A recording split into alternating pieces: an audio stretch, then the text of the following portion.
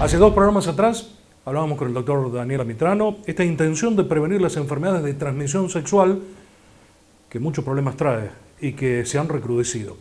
Eh, usted quiere ver más de esta nota para susalud.tv, eh, nuestra página, en las redes sociales, para su salud, para su salud TV y demás, o en nuestro canal de YouTube. Bueno, pero justamente dentro de esta enfermedad de transmisión sexual se habla mucho del HPV. ¿Qué pasa con el HPV en el hombre?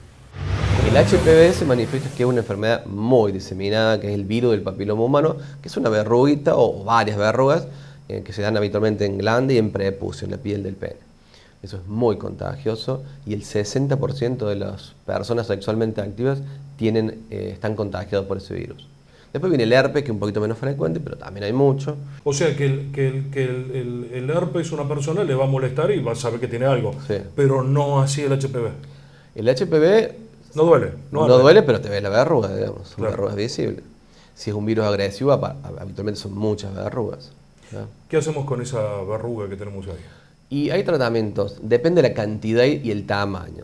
Y depende de dónde estén. Si un paciente tiene lleno el prepucio de verruga y tenés que hacer una cirugía, una postoplastia, que es sacar toda esa, ese- ese- esa piel que está colonizada con el virus y es hacer como una circuncisión, digamos, ¿no? Para que la gente entienda.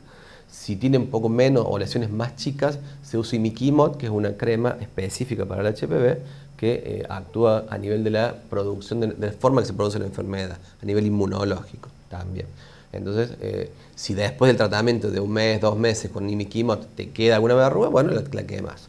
Lo que contagia la verruga, o una vez que vos se puede hasta hacer una plástica y, y- y no dejar verruga, la enfermedad sigue estando allí. Sigue estando ahí, sí, sí. Evidentemente que si vos sacas tejido, un porcentaje grande de tejido infectado, eh, va a tener menos chance de que vuelva a aparecer. Pero bueno, potencialmente puede volver. Pero siempre podés contagiar. Siempre puedes contagiar. Sí. Y si no responden al imiquimod, y son lesiones 4, 5, 6, hasta 10 chiquitas, podés con un poquito de anestesia local y un electrobisturí quemarlas en el consultorio, algo muy simple. ¿Se enferma quien quiere o quien puede de esta, de esta Se patología? enferma quien quiere, ¿sí? quien elige no cuidarse. Por eso, porque esa verruga va a transmitir, depende de la zona de donde vaya. Eh, Si se le ocurre el codo o la oreja, para que la gente vaya entendiendo, ¿no? Eh, y, y los que de repente puedan eh, horrorizarse de ciertas cosas Sí. que podamos tocar, donde vaya enferma. Sí, a- digo, lo más común es geni- a nivel genital, pero Sí, sí. también se ven a nivel laringio, ya es como que eh, lo más común, lo que yo veo es pene, prepucio, glande o el ano.